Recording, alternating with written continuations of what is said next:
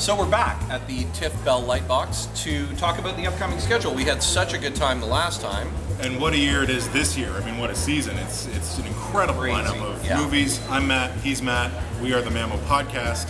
And yeah, we're going to look at the winter season at TIFF.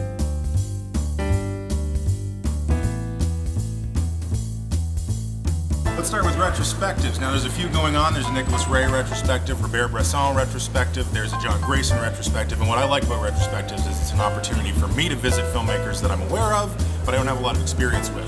The one I'm picking this year is Bresson. I've seen one of his films, Mouchette. I really like that movie, and it's playing here this season, but I want to catch up on Pickpocket. I Yeah. want to see Lancelot du Lac. Yeah. I want to see Oh Hazard Balthazar, which I wanted to see for years. Those are all playing. Here is what Robert Bresson is exceptionally good at making Martin Scorsese like him more than anyone else. You are right to pick him. Um, I saw Pickpocket, it's spectacular as well. Uh, for me, I am excited because we're getting part two of the Nicholas Ray retrospective. Right, yeah. Part two, where all the goodies lie. I think uh, that's a filmmaker that's seen a lot of uh, retrospectives, but this is almost like a second shot at it. Um, I'm very excited about The Savage Innocence. I'm very excited about The Lusty Men, which I don't think has ever been shown. Well, it's also never been not true for you. I, well, hey. I'm very excited about seeing Flying Leathernecks on the big screen because that is the quintessential John Wayne war film. So yeah. Yeah, I've never seen that one either. So it's a great opportunity to fill in those gaps for me as well. Yeah. One thing that's great about this building and, and TIFF in particular is that they continue to program films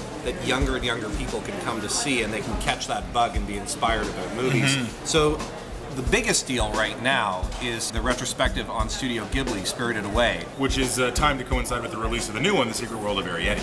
Absolutely. And also a chance to go back and take your kids to see Howl's Moving Castle if they haven't seen it, or Princess Mononoke if they were too young for that. There's so many great films, and what's really great is we're getting deep catalog stuff like My Neighbors the Yamadas and a bunch of other films that actually the, the best known directors aren't the only ones represented. In addition, what's really great is they're pairing it up with a bunch of family classics all about animals. Oh, really? Yeah, absolutely. So, Fantastic Mr. Fox, One of the uh, greatest films of all time. Black Stallion on the big screen. Also one of the greatest films of all time. Absolutely. Stuart Little, Babe Pig in the City. This is a very, very good program to take some kids to um, and uh, start them off on the right foot.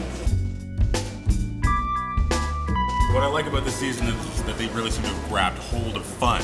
And one of the best examples is Todd Brown's series, uh, Attack the Block, where, I mean, I don't know, I, I have no experience with any of the movies in this catalog because it's all weird science fiction stuff from Russia, from the Cold War. Now, Solaris, the Tarkovsky film, is leading off the program. That's the only one where the title I even recognize it. But Yeah. I am going to see I Killed Einstein, gentlemen, the time traveling Let's Assassinate Albert Einstein movie. I'm going to see Stalker. I'm going to see this two part film called Moscow Cassiopeia Adolescence in the Universe, just because it's a bunch of teenagers doing wacky science fiction stuff in space.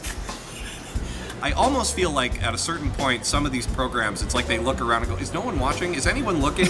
Because we're putting some movies in, and Yeah. you don't. Okay, look over there. So another thing that uh, you know, I think they snuck into the building, and I'm really glad they did. The first retrospective on a Coppola is going to be about Nicolas, Nicolas Cage. Cage. It's the greatest Cage. thing. It is the greatest thing they've ever Yeah. done. You've forget got- Francis. Forget Sofia. No, of course not. It's almost as though his career has evolved again. Now he's this ultra crazy, completely hit or miss actor.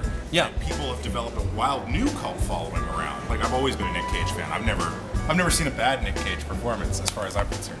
Um, Certainly not an uncommitted No, Nick Cage performance. not. I just to see The Rock and Con Air in this prestigious building.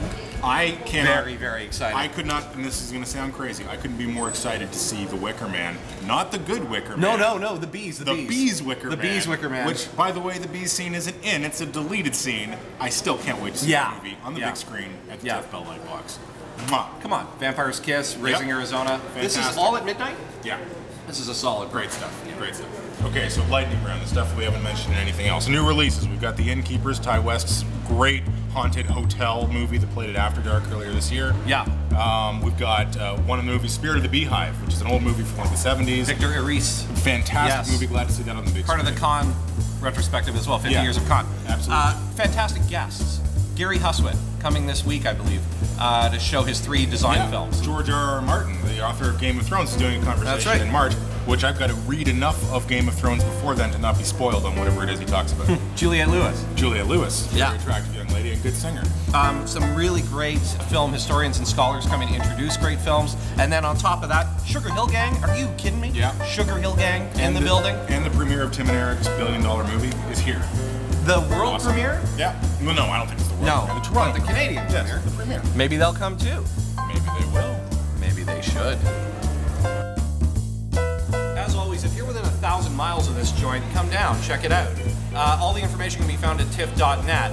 And we can be found at mamo.ca. I'm Matt. He's Matt. This is the TIFF Bell Lightbox, and we'll see you in another couple of months.